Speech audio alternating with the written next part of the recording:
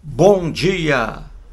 19 de agosto de 2024, segunda-feira, Brasília, Distrito Federal, Brasil.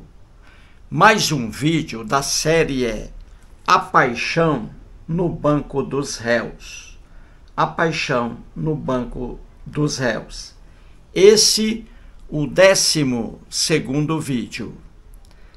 Este livro aqui foi escrito por Luísa Najib Eluf. Hoje ela está com 69 anos de idade e é advogada. Foi durante muitos anos promotora e depois procuradora de justiça do estado de São Paulo. Este livro aqui foi publicado em 2017 e aqui a nona edição. O livro é dividido em três partes. Na primeira parte, a Luísa traz 17 homicídios, 17, e homicídios envolvendo paixão, crimes passionais. E estamos analisando aqui os crimes. E estamos agora no 12 crime. 12 vídeo. Vamos analisar aqui o homicídio da atriz da Rede Globo de televisão, Daniela Pérez. Daniela Pérez. E dois assassinos, Guilherme de Pádua e, na época, a esposa dele, Paula Tomás. Vamos lá. Vamos aí acima. Daniela Pérez. Ela estava com 23 anos de idade quando foi assassinada. O crime, veja à esquerda acima. O crime, homicídio. A data, no dia 28 de dezembro de 1992. O local, em um matagal, na rua Cândido Portinari, perto do condomínio residencial, condomínio residencial Rio Shopping na Barra da Tijuca, na capital do Rio de Janeiro. A vítima, Daniela Pérez. Os autores do crime, Guilherme de Pádua e Paula Tomás, o casal. Muito bem, gente. Vamos analisar isso aí. Veja como é importante você anotar as coisas. Isso aí foi à noite, na escuridão e ali dois carros. O carro Santana, conduzido pelo Guilherme de Pádua, o carro dele, carro Santana, e o carro Escorte da atriz Daniela Pérez. Dois carros parados em um matagal ali, a escuridão. E aí veja à esquerda a principal testemunha, o advogado Hugo da Silveira. O advogado morava no condomínio lá perto do Matagal, condomínio Rio Shopping. E ele, o advogado, na escuridão, ele avistou dois carros parados na escuridão. E ele achou aquilo meio suspeito. E veja o que ele fez, o advogado. Ele foi importantíssimo para descobrirem em 48 horas os autores do crime. Esse advogado aí foi muito inteligente. Ele viu os dois carros parados na escuridão, achou aquilo estranho e ele teve a inteligência de anotar o número das placas dos carros. E aí, em 48 horas, o casal foi preso. Então, o advogado passou ali, ele ia em direção ao condomínio onde ele morava e ele viu dois carros suspeitos e anotou a placa do carro Santana e anotou a, a placa do carro Escort. Pronto. Veja bem. E aí, depois ele revelou isso, não é? Ele apareceu dizendo que viu, apareceu o, o crime da Daniela Pérez. Foi bárbaro, o Rio ficou sabendo de imediato o advogado viu a manchete e se apresentou à polícia, dizendo que anotou as placas do carro, dos carros. Olha, olha a inteligência do advogado. Em 48 horas a polícia descobriu tudo. que os autores do crime foram Guilherme de Pádua e Paula Tomás. Entendeu? Muito bem. A Daniela Pérez era filha da Glória Pérez, que escreve novelas. E naquela época, em, em 1992, na Globo, a novela, a veja aí à esquerda, a novela de Corpo e Alma. A Daniela Pérez trabalhava juntamente com o Guilherme de Pádua. A Daniela Pérez era é, interpretava o personagem chamado Yasmin, com apenas 23 anos de idade, casada com aquele com ator o Raul Gazola. E ela trabalhava na novela escrita pela mãe dela, veja aí, Glória Pérez. Muito bem. Eu sempre digo aqui, quando alguém mata alguém e não há testemunhas, aí os assassinos mentem, mentem porque não querem ser processados e muito menos condenados. E aí veja à esquerda aqui versões dos assassinos. Guilherme de Pádua era casado com Paula Tomás. Muito bem, e aí várias mentiras, tentando manchar a imagem da vítima. Além de os assassinos eliminarem uma vida humana com requintes de crueldade, além disso, eles ainda mentem para manchar a imagem da vítima. E aí eles disseram lá, o Guilherme de Pádua disse que a vítima, que é a Daniela Pérez, o assediava, era louca por ele, um tremendo mentiroso. E disse que a Daniela Pérez pediu a ele que deixasse a esposa, a Paula Tomás, outra mentira também. E com tantas mentiras, veja aí acusações mútuas. O Guilherme de Pádua, com o andamento das investigações, começou a mudar e começou a dizer que ele praticou o crime juntamente com a Paula e que a Paula foi que exigiu a morte da Daniela. E a Paula, por sua vez, também mentindo, disse que é, ela foi influenciada pelo Guilherme de Pádua cada um mentindo ali, tentando amenizar sua situação. Muito bem. Descobriu-se depois que o casal tinha um pacto de fidelidade. Veja à esquerda aqui abaixo. O delegado, chamado delegado Cidade de Oliveira, ele publicou isso aí de acordo com os exames no, no, no os exames é, feitos lá no ML, na, na, na, nos autores do crime, porque eles fazem um exame antes de serem presos, eles, eles fazem um exame, né, para poder depois não acusar que foram torturados. Então, os exames descobriram que havia um pacto de fidelidade aí com o Guilherme e a Paula Tomás e eles fizeram tatuagens nos órgãos genitais.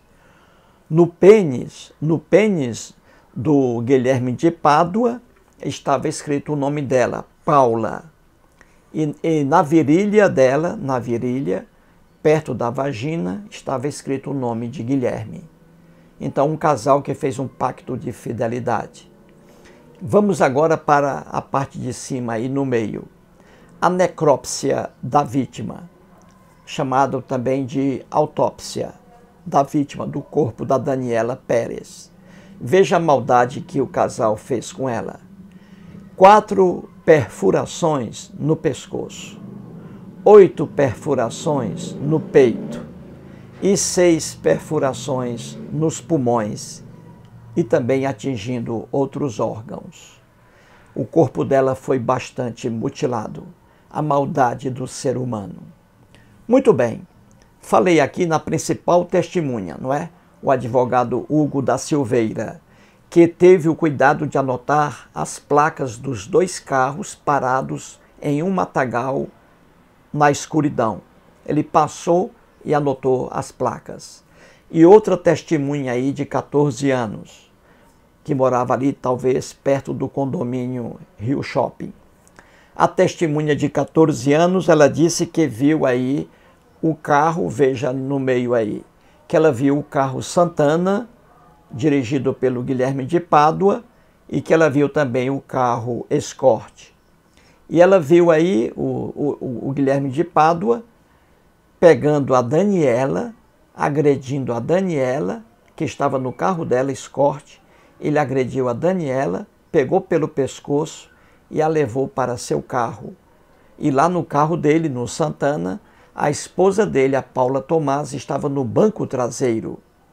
Tudo combinado para matar Daniela Pérez. A esposa estava no banco traseiro do Santana. Ele pegou a Daniela, a Daniela Pérez no carro dela, Escort, e com espancamentos levou a pobre para o carro dele, Santana. E ali ela foi barbaramente assassinada depois. Pois bem, vamos lá. Mais testemunhas importantes aí. E aí foi o problema. Dois frentistas de um posto de gasolina ali. Veja bem, dois frentistas apareceram e testemunharam. Eles viram o, o Guilherme de Pádua agredindo Daniela enforcando Daniela pelo pescoço, arrastando Daniela pelo pescoço e levando para o carro dele. Agora veja, se esses dois frentistas aí tivessem agido caminhando em direção ao Guilherme de Pádua e gritando que iam chamar a polícia, o Guilherme de Pádua não teria praticado aí junto com a mulher esse bárbaro homicídio. Ele teria aí depois seria processado aí por agressão física, etc. Então, esses dois frentistas do posto de gasolina, se eles tivessem agido ameaçando o Guilherme de Pádua ali, já que ele estava agredindo a Daniela, ameaçando chamar a polícia, o, o Guilherme de Pádua e a mulher não teriam cometido o crime, teriam fugido rapidamente. Entendeu? É isso aí. Mas muito bem, então vamos lá. Veja a maldade do ser humano. Guilherme de Pádua e a esposa Paula Tomás cometeram esse, esse crime qualificado, crime de homicídio qualificado, por motivo fútil e por é, sofrimento intenso da vítima. E também pela sua pela, pela incapacidade de a vítima se defender. Agora veja a cara de pau. No enterro da Daniela, o primeiro que apareceu, veja, veja aí no meio, o primeiro que apareceu lá no enterro foi o próprio criminoso, o Guilherme de Pádua. Foi o primeiro a chegar, chorando muito. Veja o que é o ser humano, chorando muito. E ele, pasmem, ele consolava o esposo da vítima, o ator Raul Gazola, e também consolava a mãe da vítima, a, Glória Pérez. Veja o que é o ser humano, não é? Guilherme de Pádua e sua esposa, na época Paula Tomás, cometeram um bárbaro homicídio e ele aí chorando como se fosse inocente. Como se fosse inocente. Veja mais abaixo. Três horas após o homicídio, veja bem, três horas após o homicídio, o próprio criminoso Guilherme de Pádua foi visto por uma testemunha fazendo Cooper no calçadão de Copacabana, ele descalço e sem camisa. Isso três horas depois de ter praticado o bárbaro crime. Viu aí o que é o ser humano? Muito bem, e o julgamento? Guilherme de Pádua foi julgado em um dia. Já a Paula Tomás foi, julgado, foi julgada em dia diferente. Julgamento do Guilherme de Pádua, veja aí no centro. Ele foi julgado pelo Tribunal do Júri no dia 15 de janeiro de 1997. Tanto ele quanto a Paula estavam presos logo depois da prática do crime. Três dias depois do crime, eles já estavam presos. Foram presos em 1992. Em 1997, eles ainda estavam presos aí, cumprindo cinco anos já de prisão. Cinco. 92 para 97, né? Cinco anos já de prisão, até sair o julgamento. Muito bem. Julgamento, veja aí, do, do Guilherme de Pádua. Ele foi condenado a 19 anos de reclusão. O juiz, José Geraldo Antônio. O promotor, Maurício Assayag. E assistente do promotor, o Arthur Lavigne. O assistente do promotor é o advogado contratado pela família da vítima. Esse assistente do promotor, ele vai lá ao júri para auxiliar o promotor, entendeu? O promotor não é contratado pela família, o promotor é um, é um empregado público, é um servidor público. Ele não é contratado pela família, o assistente é. E o advogado aí do Guilherme de Pádua foi o Paulo Roberto Alves Ramalho.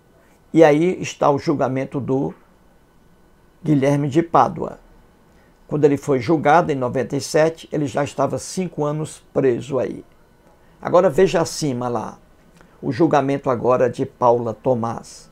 Ela foi julgada aí no mesmo ano, 1997, no dia 16 de maio ela foi julgada. E ele no dia 15 de janeiro do mesmo ano.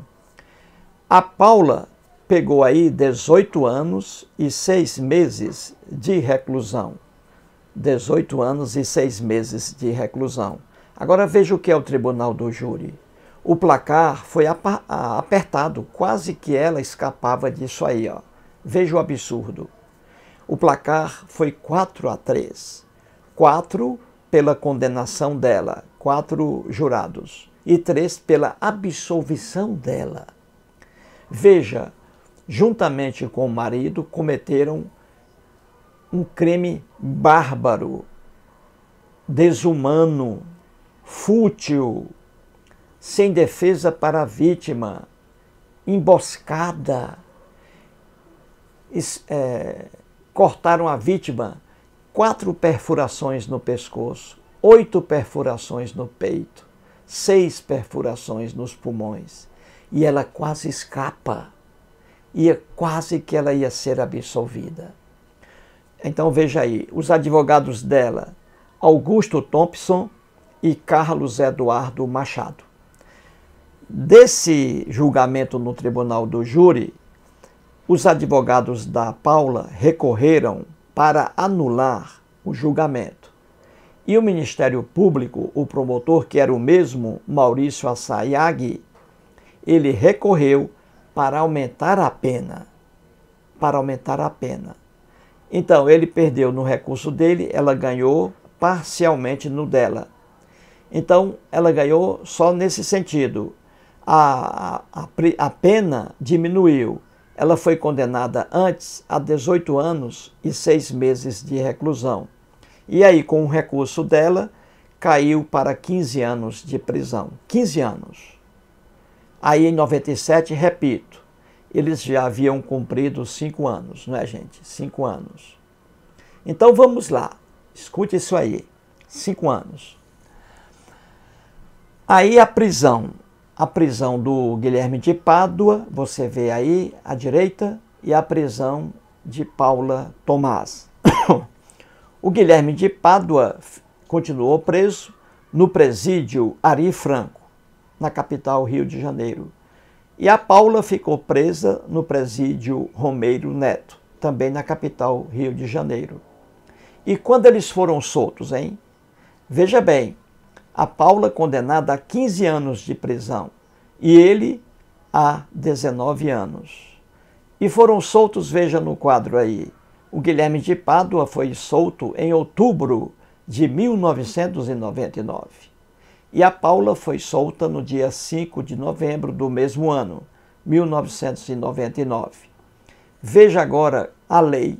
Que lei nós temos, hein, gente? Que lei horrível. É por isso que o Brasil é um campeão em homicídios. Veja que lei mais vagabunda essa aí. Eles foram presos em 92 e foram soltos em 99. Quantos anos aí, gente? Sete anos. Sete anos. Veja, um crime bárbaro desse. Ele foi condenado a 19 anos e ela a 15 e só cumpriram sete, de acordo com a lei. Sete anos apenas. Eu sempre digo aqui que eu sou a favor da pena de morte. Aí seria pena de morte para os dois, para o Guilherme de Pádua e para, e para Paula Tomás. Sou a favor da pena de morte. Como no Brasil só existe pena de morte em caso de guerra declarada, e aí para crimes militares, então devia haver é, prisão perpétua, também não há. Então, já que não há pena de morte para esses casos, nem prisão perpétua, o certo aí seria, no mínimo aí, para cada um deles, dentro da prisão, 30 anos. 30 anos dentro da prisão. Mas não. O Guilherme de Pádua, condenado a 19 anos, só cumpriu 7, de acordo com a lei. A, a Paula Tomás, condenada a 15 anos, só cumpriu, veja aí, foi presa em 92, só cumpriu também sete anos. Uma vergonha, não é? Muito bem. Veja abaixo aí para terminar o vídeo. Glória Pérez, a mãe de Daniela Pérez.